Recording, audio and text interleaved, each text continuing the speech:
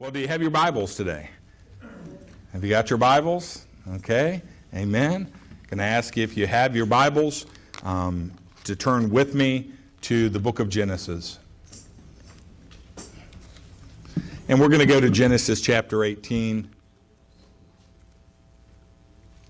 This being Father's Day, I want to give a, an encouraging word not only to our fathers, but to everyone, but maybe it would have special application for the dads today because fathers and uh, husbands are priests of the home. That's, that's a very clear teaching in the scriptures that, that they are to be the priests of the home.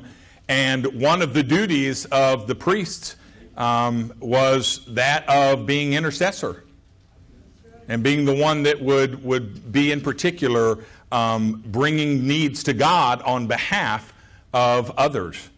And so I would say to you, dads and um, husbands and fathers, that uh, let's, let's be the priests. And we all are. All right, we're all um, a kingdom of priests to the Lord. And so everyone is, is going to be involved in this ministry, but especially I want to encourage dads today to take up that mantle of being the intercessor. And I want to speak on the importance of prayer. This is a very uh, basic but yet an important message for us because we are facing times now, church, that in many ways are, are unprecedented, certainly in our life, in most of our lifetimes, if not all of them. There are things that are going on that call for the church to be the church. And uh, I mentioned earlier in the week on Facebook, I said, you know, sinners will become Christians when Christians become Christian. And one of the things that we have to do is we've got to get back into or be stronger in the prayer closet portion of our ministry, and we want to see fruit come from that. Every Christian should be a praying Christian. In fact, if, you, if you're not praying, you're playing. And, and, there's, and, and we have to be in this posture. We're, we're not in a place today where we can just play games. Everything has changed, everything is upside down. People are dying. You know, things are going on in this world and in our country that demand that we as believers take a stand for the Lord and that we, that we utilize those things that God has called us to utilize. And so I take you to Genesis chapter 18 with that little bit said as kind of an introduction. And I want us to look at a particular incident that took place in the life of Abraham and what he did. And I'm not going to uh, go into a long introduction of the text itself. I think it will basically speak for itself. But Abraham has been speaking really with the Lord in the Old Testament. There are times where the Lord appears um, uh, as, if you would, an, an angelic being, but yet a man at the same time. And here the Lord has basically had time with Abraham, and he's appeared um, in the form of men. And so, verse 16 tells us in chapter 18 that then the men rose from there and they looked towards Sodom. And Abraham went with them to send them on their way. And you have to know Sodom was the most evil city um, anywhere in that vicinity. It was known for its, its, its absolute vileness and wickedness. And the Lord said, Shall I hide from Abraham what I'm doing? Since Abraham shall surely become a great and a mighty nation, and all the nations of the earth shall be blessed in him. For I have known him, in order that he may command his children and his household after him, that they keep the way of the Lord, and do righteousness and justice, that the Lord may bring to Abraham what he has spoken to him. And the Lord said, Because the outcry against Sodom and Gomorrah is great, and because their sin is very grave, I will go down now and see whether they have done altogether according to the outcry against it that has come to me. And if not, I will know. Then the men turned away from there and they went toward Sodom, but Abraham still stood before the Lord. And Abraham came near and he said, Would you also destroy the righteous with the wicked? Suppose there were fifty righteous within the city. Would you also destroy the place and not spare it for the fifty righteous that were in it? Far be it from you to do such a thing as this to slay the righteous with the wicked, so that the righteous should be as the wicked. Far be it from you. Shall not the judge of all the earth do right? So the Lord said to him, If I find in Sodom fifty righteous within the city, I'll spare all the place for their sakes. Then Abraham answered and he said, Indeed, now I, who am but dust and ashes, have taken it upon myself to speak to the Lord. Suppose there were five less than the 50 righteous. Would you destroy all of the city for lack of five? So the Lord said, If I find there 45, I will not destroy it. And he spoke to him yet again, and he says, Well, suppose there would be 40 found there. I won't do it for the sake of 40. Then he said, Let not the Lord be angry, and I will speak. Suppose 30 be found there. So he said, I will not do it if I find 30 there. Then he said, Indeed, now I've taken it upon myself to speak to the Lord. Suppose 20 should be found there. So he said, I will not destroy it for the sake of 20. Then he said, Let not the Lord be angry, and I will speak but once more. Suppose 10 should be found there. And he said, I will not destroy it for the sake of 10. And so the Lord went his way as soon as he had finished speaking with Abraham, and Abraham returned to his place. I want us to be encouraged in our prayer life today because what we see in this story is that God hears his people when they call to him and when they make requests, and especially in regards to intercession. God does listen and God does hear and God does respond based on intercession. I would ask you quickly how many people here have family members that are not saved that you are praying for their salvation? Let me see your hand. Okay. Just about every single one of us here. We have family, if not family, surely friends or neighbors that we know that need Jesus Christ. And so we are called to be the priests and to stand in the gap and to do exactly what Abraham did. And today I want to give you five simple very, very important, but very, very simple reasons that we need to pray, and really how we can pray effectively if we will incorporate these five requirements. So, if we want to pray effectively, there, and there are at least these five things that are essential for us today. And we want to be like Abraham, and we want God to be able to hear us. And we want, I mean, do you want answers to your prayers? Yes. We don't want to just go through the motions. That's crazy. Oh, I'm just praying. It's just a religious exercise. I don't expect any answer. I don't expect anything. Well, the scripture is pretty clear that if that's the way we approach God, we won't get anything. God's pretty clear, isn't he? Double-minded man is unstable in all his ways. So I don't. I, am trusting none of us here want to just go through because I will tell you straight up: if we're not serving, if we're not serving the true and the living God, if the God that we claim to know and the God that we say has saved us, and He has saved us, if, if none of this is real, then you want to talk about just doing foolish stuff. We're just wasting our time, spinning our wheels if this isn't real. So I hope that when we pray, we pray with a faith and a belief that God is listening because we know that He is and that He is hearing us and that he will, he will actually act on behalf of those that intercede. So I say that to you right at the outset that the only reason to even go through this and to talk about prayer is because it is real. Because what Abraham did, it's real. God listened. And God listens today. But let's kind of firm that up in our mind that, that, that we're, we're, prayer is not just a religious exercise, but it actually is communion, fellowship, speaking both to the Lord, but also the Lord speaking to us, a two way conversation. Amen? Let's, let's remember those things. But five, five important factors to effective praying is what I want us to look at today. And let's pray. Heavenly Father, we thank you for your word. I just pray today in the simplicity of this message that you would grant to us eyes to see and ears to hear what your Holy Spirit would say to us today. Lord, that we would be willing to, uh, Lord, receive and to hear from you. And um, to grow in our prayers, to grow in our praying and our understanding of these things, Lord. Let, let your spirit speak to your people today. Raise up prayer warriors, raise up intercessors. Berean Assembly, we have, have been a praying church from the very beginning, God. And we and you have brought us through so many of the of the trials of life and situations, and you have kept us, and we are here, and we're here for a mission. We have a purpose. And a big part of that is to be intercessors. So, would you raise up intercessors? Would you remind us of this great privilege that we have today to pray to you? I ask these things in Jesus' mighty name. Amen and amen. The Lord is good. So, for a car to work, there are many parts within it, right? Those of you that are mechanics.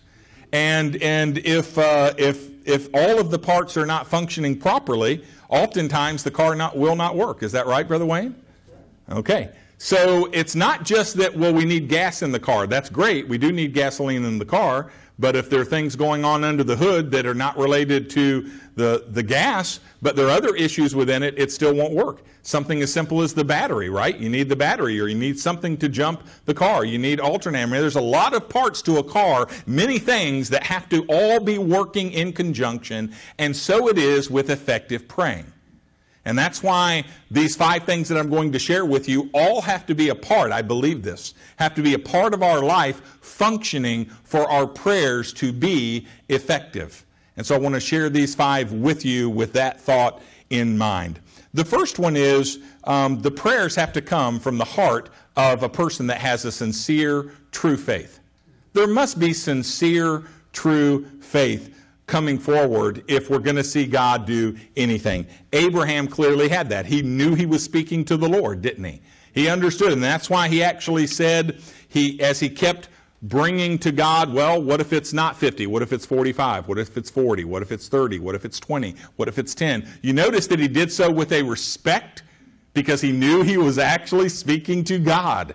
He wasn't just speaking to another person that he could kid around with. This was serious stuff. This was a nation that was going to, I mean, a city that was going to perish off the face of the earth. It's serious stuff. He, by the way, had, um, you know, somewhat of a, uh, of a part in this because he's got family that's there in the city. So he doesn't want to see his family members perish. We didn't even talk about that, but you know, Lot and his family were there. So Abraham has skin in this and he speaks to God and he speaks truthfully and he speaks sincerely. And we need to have um, sincere, true faith if we're going to come to God and see effective praying. Can I just share a couple of scripture with, scriptures with you? Mark 11, 24. Jesus says, Therefore I tell you, everything that you pray and ask for, believe that you have received it, and it shall be yours.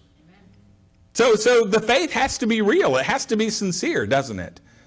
Again, Hebrews 10:22, let us draw near with a true heart in full assurance of faith, with our hearts sprinkled clean from an evil conscience and our bodies washed in pure water. And so there's some imagery there, but the, the reality of it is, is that we need to be able to come to God with a clean conscience, a sincere, true faith. James 1 6. He must ask in faith without doubting, for the one who doubts is like the surf of the sea, driven and tossed by the wind. So if we're going to ask God to do anything, we need to believe that the Lord will actually do it.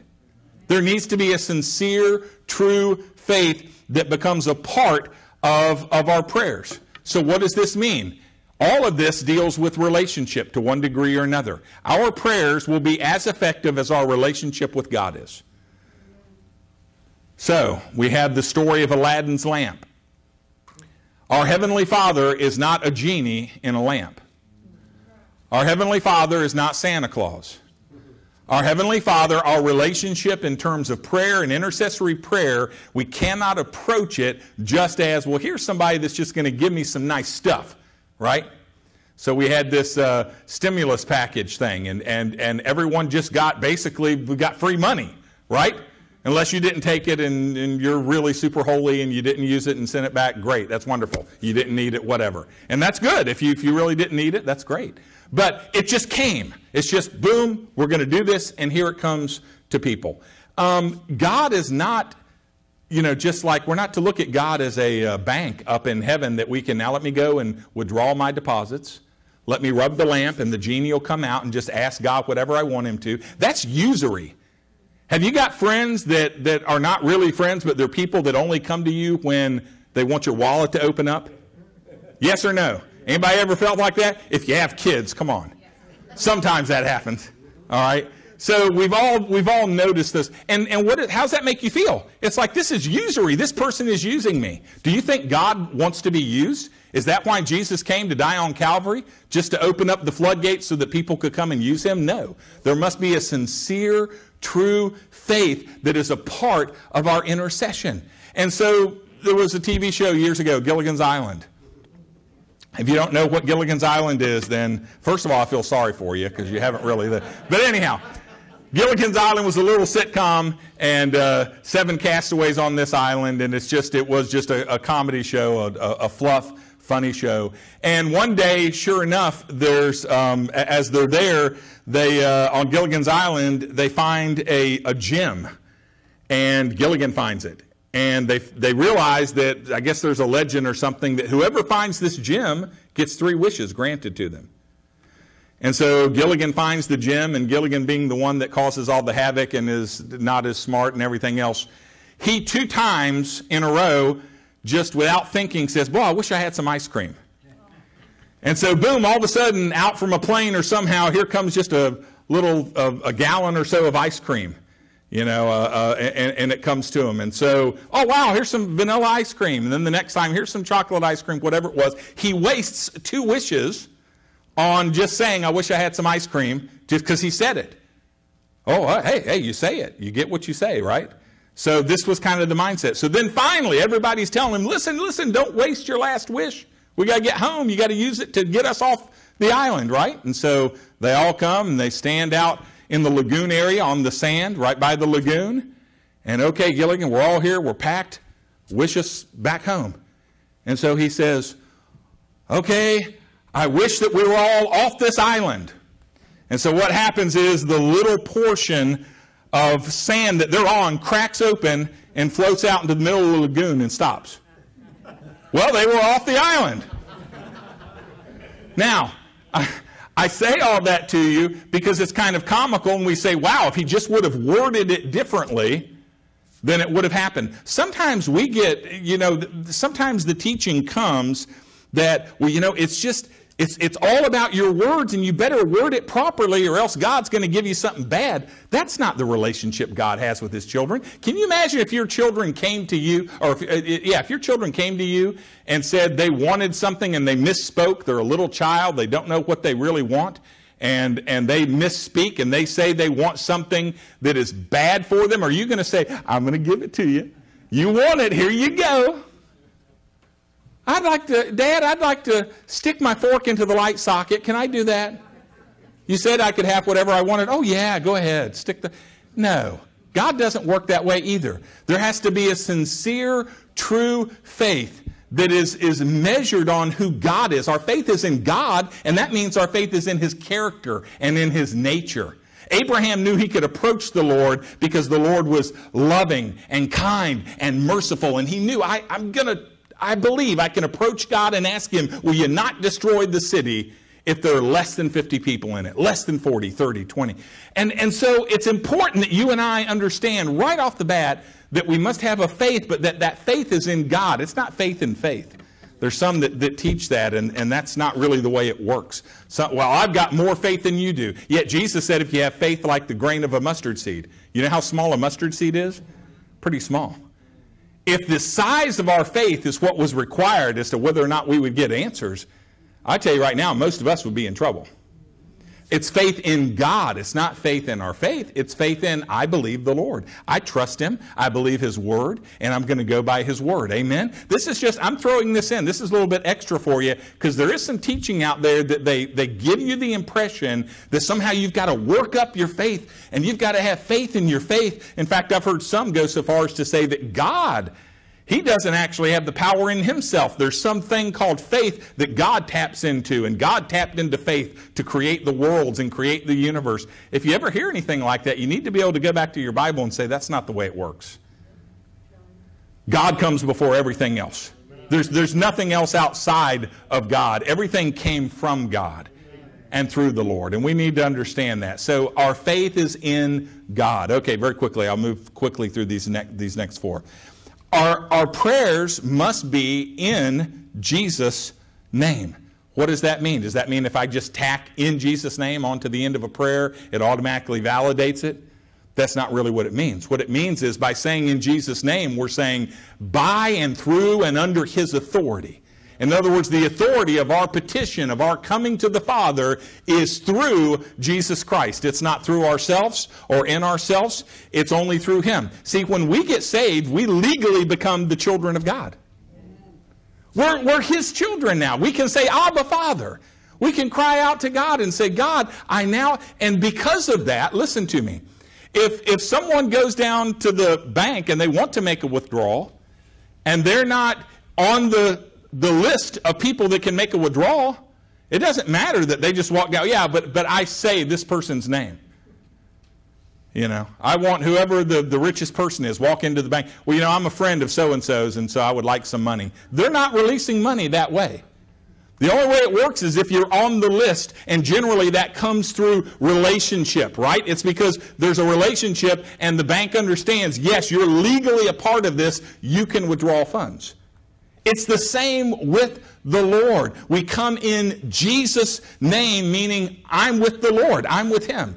I'm His. I, he's in me. I'm in Him, the, the branch, and all of that good stuff. And so I'm with the Lord. You said, I'm not sure I believe that. Listen to me. John 14, 13 through 14.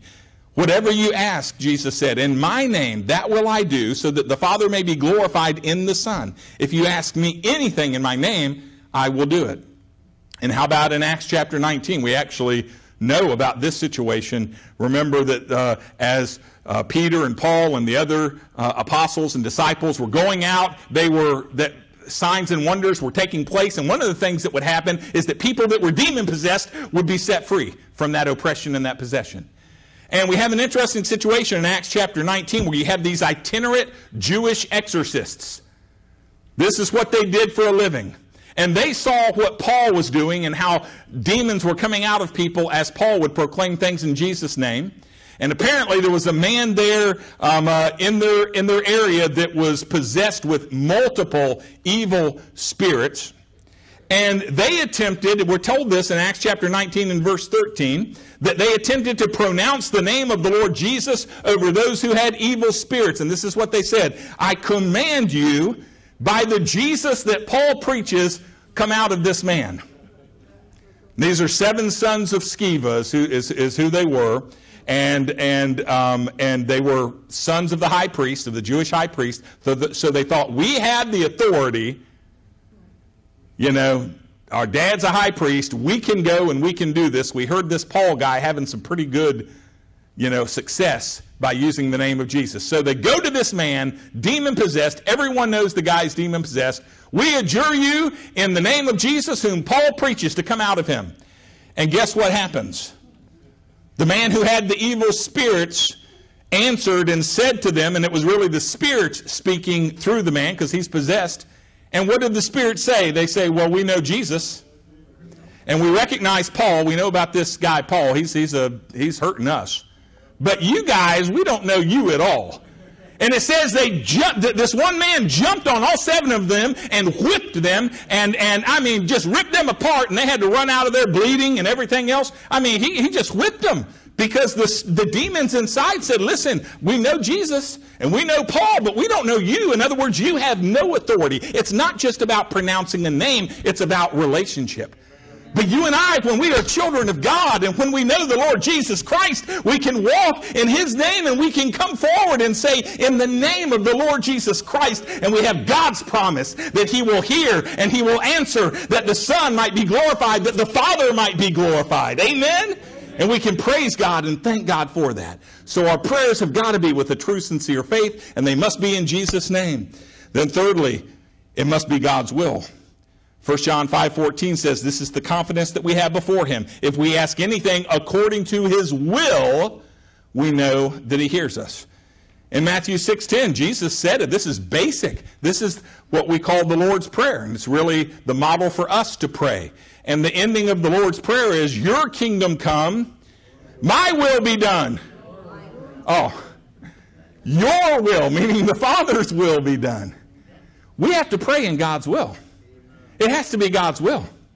As much as I would like Publishers Clearinghouse to knock on my door tomorrow morning and present me with the what, if that's not God's will for my life, I can pray it all I want to, but I'm not going to twist God's arm. Do we really think we're going to twist God's arm? This is why we have to pray in God's will. This is important. You say, well, then how do I know I can pray for people to be saved?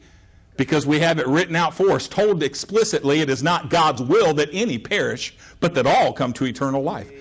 So when I intercede, as Abraham did, or where you, when you do for your whoever it is in your family or your friend, you can pray in full assurance, knowing it is God's will to save that person. He doesn't want anyone to perish. We can pray that with absolute, complete 100% assurance. God wants this. And this is why John says, if we pray according to his will, we know that he hears us. It's important that we know what God's will is. It's important that we know what God's word actually says. Amen? So it's got to be God's will. So one time a man was preaching and he got everybody fired up and he was preaching on faith and just, oh, and everybody was fired up. And all of a sudden a young man jumps up in the middle of his sermon. Everybody's so excited. And he says, Brother, and he's speaking to the guest evangelist, the Lord just told me to run through that wall. God told me to run through that wall. I've got faith. I'm going to run through that wall. And the, the preacher just said, Well, okay, go ahead. So the guy gets up a, a head of steam, uh, and everybody's watching, runs, hits that wall full steam ahead, boom, hits the wall, boom, hits the ground. Unspectacularly, maybe totally to your shock and surprise, the wall did not move. He moved, and he went down to the ground. So then he, he dusted himself off. Everybody's watching, waiting. What in the world? Are we going to have to call the ambulance for this guy? He gets up. He's kind of woozy. But then he regains consciousness and shakes off the cobwebs and he says, Brother, the Lord just told me never to do that again. we have to know what God's will is. And then we pray in accordance with His will. Amen. And if you say, I'm not really sure, then this is where we finish off the prayer and we say, Now, Lord, if it be your will. If we don't have a scriptural standard, let's say you're thinking about a job and you don't know, is this really what God wants? Lord, if it be your will, open this door. Let this happen. If it's not your will, then close the door. And, and I am in accordance with your will. Not what I want, what you want. Amen? And we do that. Now, fourthly, there's another thing close to the prayer being in God's or, or being God's will. You and I must be living in God's will if we want our prayers to be effective. In other words, our relationship with the Lord we need to be in right relationship with Him and not completely backslidden and just doing our own thing. Again, Matthew 6 33. But seek first His kingdom and His righteousness, and all these things will be added to you. 1 John 3 22. Whatever we ask, we receive from Him because why? We keep His commandments and do the things that are pleasing in His sight. We are showing ourselves, we're, we're, we're not making ourselves holy. God's already made us holy. We're in right relationship with Him but we're walking with Him like a, a good child would do. Amen? And so there are bratty kids, and there are children that love their parents and demonstrate that by doing what the parent asked them to do. Amen? And so we're walking with the Lord because of His love for us and because of what He's done for us. And as we're walking in His will, then the door is wide open for us to pray. Interesting, Psalm 66 and verse 18, many of us will know this by uh, by heart. If I regard iniquity in my heart, the Lord will what? Will he hear us? He will not hear us. If I regard iniquity in my heart, the psalm says, the Lord will not hear me. Okay, now I want you to, to get, I, I, I, went and looked at a couple of different translations to get the sense of this, and I just want to read a couple of these to you because they all communicate the same sense. So another one says, If I had cherished sin in my heart, the Lord would not have listened. Or if I had not confessed the sin in my heart, the Lord would not have listened. Another one says, If I had been aware of malice in my heart, the Lord would not have listened. And finally, another one says, If I had ignored my sins, the Lord would not have listened to me. All of that's true. We need to be walking in the will of God ourselves if we really want that open line of communication with the Lord. Doesn't mean that you're perfect. I'm not saying that, that you're perfect in, in the sense of just never, no sin in word, thought, or deed, and no sin of commission or omission or anything. But there should be the right relationship. If we're walking in the light as He is in the light, we have fellowship one with one another. Amen? And the blood of Jesus cleanses us from all sin. So as long as I'm walking in the light, even if there are unintentional sins and there are things that happen, there's a continual cleansing. This is why I don't worry about whether or not I'm saved tomorrow and the next day and the next. Oh, oh, I sinned. I accidentally said something, or I, I, I, was, you know, whatever it might be. I got upset in traffic, you know, and shook my fist at someone. Oh, no, now, you know, if I die, I'm going to go to hell. No, no, no. If we're walking in the light as He is in the light, we're His children. There's a continual cleansing from our sins. So I'm not saying you have to be walking in perfection, but we need to be walking with a clean conscience and walking in accordance with God's will. We can't just be out there being rebels and then say, oh, but I've got a free ticket with God. I can write my ticket. You understand? So we have to be walking in God's will. And then the last thing, very quickly, that I want to say to you is that we, we, we have to be persistent. We have to be persistent. Matthew chapter 7, verses 7 and 8. Ask and you will receive. Seek and you will find. Knock and the door will be open to you. For everyone who asks will receive, anyone who seeks will find, and the door will be opened to those who knock. And all of this is in the present tense. So there is a persistence to our prayers. There are people that say if you pray for something more than once, you're demonstrating a lack of faith. So only pray for it once and never again, and then God will at some point listen and maybe answer in His timing.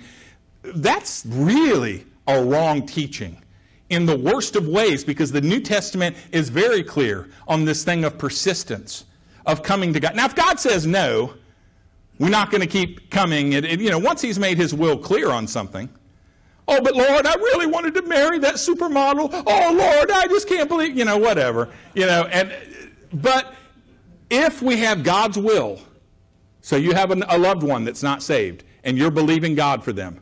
We already have, it's not God's will for any to perish. So we can come to God again and again and again. I read a book by one man one time, and he said, I only prayed for my children's salvation once, never again. One time I did it, and I marked that off, and that's it, because that's all I. It's just, it's not scripture. When you ask for something, you don't just ask once. When you're seeking for something, you don't just say, well, it's not here, okay, that's it. No, you're seeking. You're looking all over, as many places you can get to where that might be. And when you knock on someone's door, how many of you go up and just do this? Nope, they're not there. I'm gone. If you know the person is in there, it's nighttime, you've walked up, and all of a sudden the lights go out, but you know they're there. You're not just doing that, you're going to keep going. I'm not giving up, and we're just going to keep going until you open that door. You better open that door. And you say, Oh, come on, it's not like that. That was the parable of Jesus. And he was talking about prayer when he said a, a man comes uh, from a faraway country, uh, surprises uh, some, some family members, and they don't have bread, and they have to go next door to the neighbor. Hey, I need bread. Can I borrow some bread from you? No, no, no, no. I'm in bed, man. Don't get me up. I need bread. I've got visitors, and it's important that I get. Finally, the guy gets up because of what? Persistence. And Jesus links that with prayer. God wants us to come to Him. I, am just closing on this point. I want you to understand this that, that God, we're not bothering God, we're not bugging God. The Lord wants us to come, and especially when we're coming to intercede, the Lord wants us to intercede. He, oh, above all else, the Lord looked for someone to stand in the gap. God's looking, I believe, God is looking for someone today, Christians today, that will say, I am going to make it a part of my life. Intercession is important. I'm going to spend time interceding because I believe that God answers prayer. And I know that God hears when I call to Him in sincere, true faith. I'm walking with the Lord and I'm calling out on behalf of other people. That is selfless. God wants that. God honors that you and I can be praying people. How many want a greater, more effective prayer life? Amen. Even more than you've had now. I do. I want it to, I want to keep growing always in my prayer life. I don't want to ever come to a place where I'm satisfied in my walk with the Lord. I always want to keep growing in the Lord. And I'm, I'm sure that there's not one person here that could honestly say, you know, I mean, there's I, I, don't need to grow at all in prayer. I'm fine. I mean, everything that I pray for is just answered on the spot right there. That's none of us. That's none of us. We all want to grow in the Lord. And we want to be like, again, Abraham. He didn't stop at 50. He didn't stop at 45 or 40 or 30 or 20. He stopped at 10. And by the way, 10 still wasn't enough, was it? As we come back and round back to the text, 10 was not enough. There weren't even 10 righteous people in the city. The city still ended up being destroyed. But it, it's kind of those one of those great what ifs. What if Abraham had kept going? And we don't have the answer to that, but what we do know is that the Lord heard and he was always responsive to Abraham's intercession, and God is responsive to our intercession. There's no one in your family that's a lost cause. Brother Ivor, if you would come. There's no one in your family or your friends or that, that when it comes to intercession for their soul or intercession for them to be delivered and set free, there are people that need to be set free from all types of bondages. God will set the captive free. That's why Jesus came. And the Lord will do that. But you know what? He wants us to cooperate with Him in prayer. If that's your desire, especially dads, husbands, fathers, to be the priest of the home and to really intercede for your family members. As your wife and your children and whoever, we're all interceding one for another. But God, He wants to do a great work. He wants to see a people in this country that will rise up and be true prayer warriors. Above all else, prayer warriors. Would you bow your heads with me right now and let's just open open up the beginning of the application of this message today by going to the Lord in prayer. And as we pray together, we're just going to pray, God, make me a better prayer warrior. Make, let my, my time in prayer with you, let it grow. Lord, teach me not how to pray, but teach me to pray. Heavenly Father, right now in Jesus' name, with our heads bowed and our eyes closed, if there's anyone here that doesn't know you, Lord, we began this service with a time of praise and worship through song, and we ask that your glory would be revealed through the preaching of your word and that every heart would confess that Jesus is Lord. I pray if there's anyone here that has not confessed, they have not believed, this is what it's all about. We believe you. Even if we come and we say, Lord, help me in my unbelief, I'm going to come and I'm going to ask and I'm going to open my heart to you. Lord, we pray, those of us that are here as believers, I ask for myself and everyone here, make us greater prayer warriors. Surely there is a great need for intercession today. Make us, Lord, make us intercessors. Do this work in our heart and in our life. I pray that we would see fruit from our prayers, Lord. We don't want to just offer up prayers and, and all of them feel like they're hitting the ceiling and coming back down. So I pray that we would put into practice all these aspects of effective praying. Lord, that we would believe and we would trust you. We walk in you. Lord, that we would have sincere, true faith. That we would pray in Jesus' name that we would pray your will, that we would pray as we are walking in your will. Lord, that we would be persistent in our prayers. Those five elements, bring them together and make this church and make these people, God, a praying people. Make me a greater prayer warrior than ever before.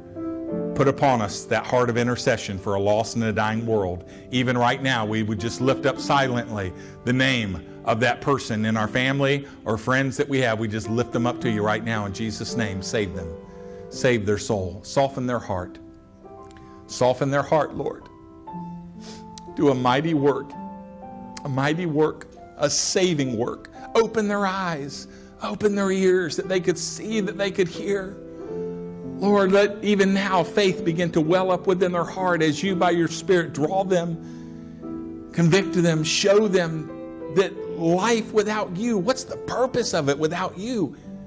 If we're only here and then we go, wow, just a short time on this earth and that's it. No, Lord, we have a soul. We're going to move into eternity, God. There's something greater than us. You are our creator. Show those that we're praying for, show them that. Show them that Jesus is the only way that our consciences can be cleansed, that our souls can be made new. Show them that, Lord and use us, use us as prayer warriors. In Jesus' wonderful and mighty name, we ask these things. We believe for these things. And Father, we pray a special blessing for our earthly fathers, for the fathers that are here. You are our heavenly Father, and we love you. We thank you, Lord, for earthly dads as well. Bless them today on this Father's Day. In Jesus' mighty name, we ask all of these things. Amen and amen.